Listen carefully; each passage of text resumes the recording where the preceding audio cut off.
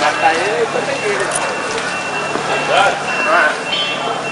Vai, ninguém vai pra igreja assim do nada, não.